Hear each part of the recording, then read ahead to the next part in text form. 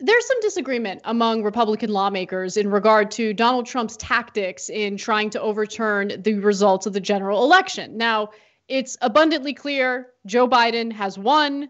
Uh, the Trump campaign has lost uh, over 50 different legal battles uh, in regard to the election. Uh, but that's not stopping GOP Congressman Louie Gohmert, along with 11 other plaintiffs who have filed a federal lawsuit against Vice President Mike Pence in a last ditch effort to overturn the results of the general election. So let me tell you how they're planning on trying to make this work. Gohmert and the others, a group which includes Arizona Republican Party Chair Kelli Ward, are bringing their case before Trump appointed Judge Jeremy Kernodle. Noodle. Um, I, I, I don't know how to pronounce his name, but he's a Trump appointed judge. They are seeking to give Pence the ability to appoint a sham slate of pro Trump electors rather than the duly elected appointees chosen by the public on November 3rd. The filing states that Gohmert will indeed lodge an objection during the joint session of Congress over which Pence will preside on January 6th. Now, um, my understanding is January 6th is mostly like a traditional thing that happens, right? Um, it's the, like their plan here is nonsense and it's not going to work. But nonetheless, this is another attempt to try to overturn the results of the election. Yeah, I, I love uh, the uh, awkward place that it puts Pence as a matter of optics. So uh, Pence is going to just pound the gavel. It's a it's called pro forma because it just means we're just there's nothing to do here. This is just like a formality, okay? And and they're like, no, no, I want you to block it. Okay, but even if you did that, okay, and it looks like some Republicans are going to do that. They're going to do that in Congress. Gohmert's trying to get them to do it through the courts. Then the House and the Senate vote separately the Democrats have the House. So they have 0% chance of winning the vote. So it's all a show for no reason at all, full well knowing that they're going to lose. So, what is the actual reason? It's politics. And, and think about how dirty Gohmert and those guys are. They're throwing Pence under the bus. They're throwing all of their fellow Republicans under the bus who believe in the Constitution. They're saying if you don't vote for a coup, we're going to call you guys Republicans in name only. We're going to say that it was your fault, and we're going to try to take credit for uh, supporting Donald Trump, even though they all know with 100% certainty that they have no chance of succeeding. It's it's really it's wonderfully callous uh, against their fellow Republicans. No, I and I love it. I personally love it uh, because they've made their bed. I mean, they know uh, I'm talking about the Republican Party overall, Republican lawmakers overall. Throughout the last four years, they have enabled Donald Trump and all of his actions. They've made excuses, they've been apologists for his behavior. And so now the chickens are coming home to roost.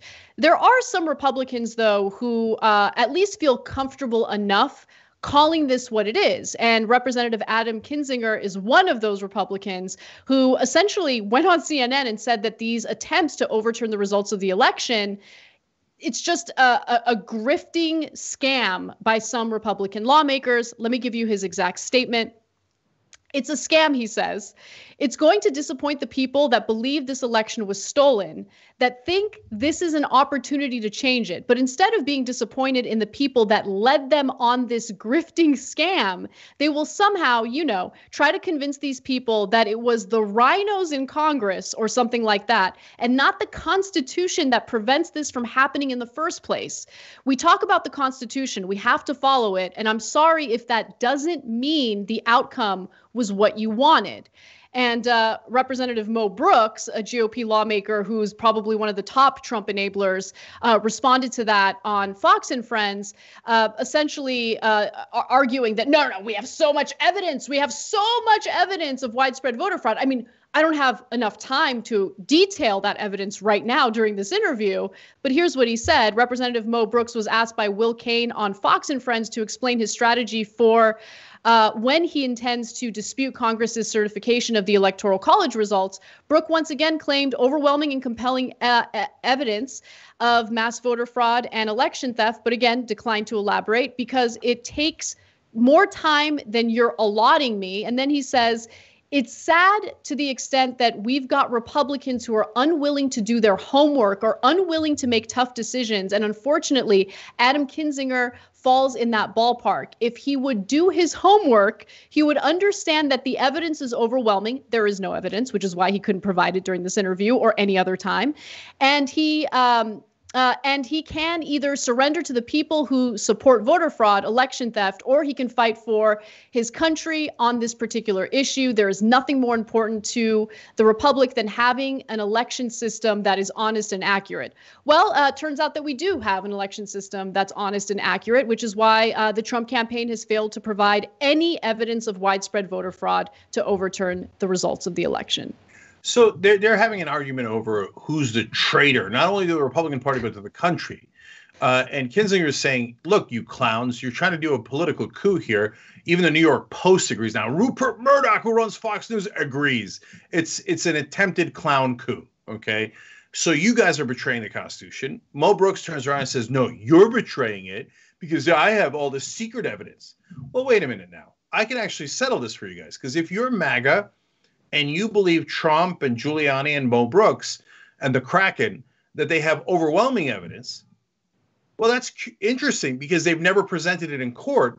That's why they've lost every single case, including uh, it for in courts where there are only Republican appointed judges, including in front of Trump appointed judges.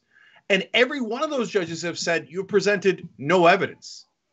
So if you're MAGA, then you know who the traitor is. It's Mo Brooks.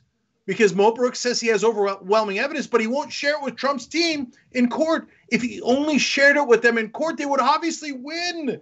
Instead of having zero evidence, they'd have overwhelming evidence. He let them lose over 50 cases in a row and would not share the evidence. Mo Brooks, traitor to Trump and the Republican Party. By the way, there's no way you could logically dispute that. The only way you could say, no, Mo Brooks is not a traitor is, oh, yeah, he's obviously lying. We don't have any evidence. Because if he's not lying and he has overwhelming evidence and they've never presented it in court, he's the one screwing over Trump. Yeah, I mean, look, uh, we'll talk about the New York Post story in more detail later, but the editorial board there made a devastating point. I mean, we've made a similar point on this show. I mean, the Trump campaign spent $3 million on a recount in Georgia, a hand count. And following that hand count, they discovered that Biden actually won by dozens of more votes than previously known. Like, it's over. It's over. Give it up. It's embarrassing. And what's also deeply disturbing is just how far some GOP lawmakers will go to show their loyalty to Donald Trump, even knowing that it could potentially dismantle our democracy and our democratic process. That's yeah. that's how self-interested they are. They're willing to put everything on the line, including this country's democracy. It's just yeah. pathetic and disgusting. I, I, want to point out one other thing. And in case you don't know, New York Post is, again, owned by the same owner as Fox News, one of the most con- conservative media outlets in American history. And, uh, but they, they recounted twice in Georgia. So they've had three different counts, including two recounts, including a hand recount. And the New York Post made a good point uh, saying that, well, you guys claim you have evidence of Venezuelans fixing the voting machines, but in Georgia, they did a hand recount. You can't fix people's hands, you can't rig their hands, right? So there was no machines to rig at that point. It's a hand recount. So you guys are on a different planet. And even the Fox News owned, you know, Murdoch, or uh, Murdoch owns Fox News and Post, even those guys are saying, no, you guys are actually literal lunatics. So that's who Mo Brooks is.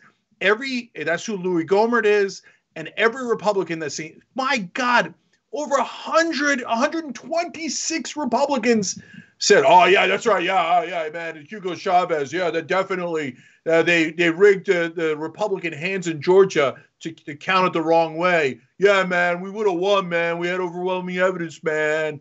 All of them. The Republican Party now split into two camps not establishment and right wing, not RINO and non-RINO. They're split into sane and insane. No joke.